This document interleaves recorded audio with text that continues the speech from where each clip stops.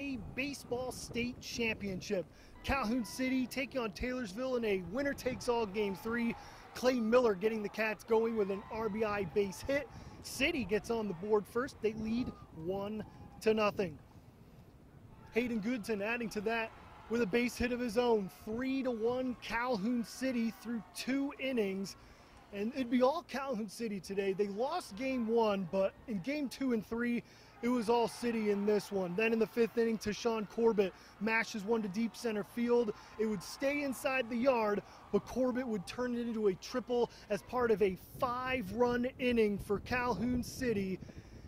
And that would be the difference. For the first time ever, the Calhoun City Wildcats are baseball state champions, defeating Taylorsville in game three, 14 to 4. Here's the champs after the game.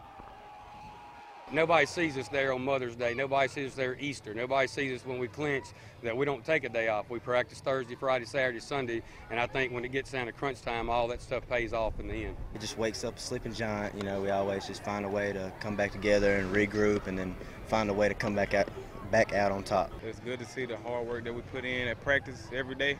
It, it finally paid off. I feel very shocked. Now it's time to celebrate.